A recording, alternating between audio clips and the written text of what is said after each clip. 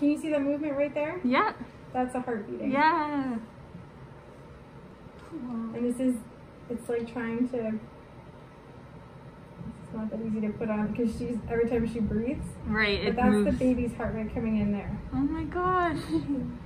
It's just as she moves, it It, disappears. yeah, yeah, because it she moves it a little bit.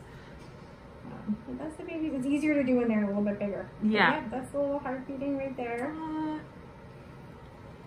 When they're first, when they're first there, they just look like little amoebas. They don't really look like anything. But they're starting. yeah, but you can see the sack's good, and you. But at this stage, they're starting to, you know. So this is all a puppy. wow. Oh And you got gosh. leg buds, right? Oh so there's a leg buds there. There's one leg bud. There's yeah, another yeah, leg yeah, bud.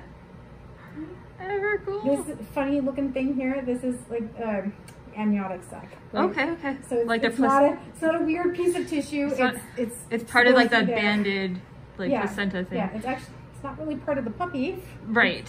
It's part of the sac that's keeping it alive. This is intestine Yeah. with gas and air. So now we've seen two puppies. So if I scroll up here, up by your spleen, there's another puppy.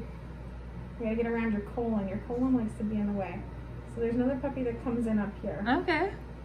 Um, and then if we come over here, this is on the other side. Aw. So here's another little puppy.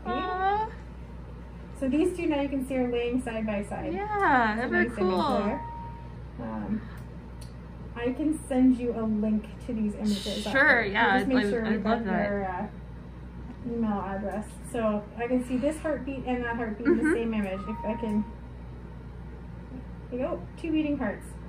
Oh my gosh.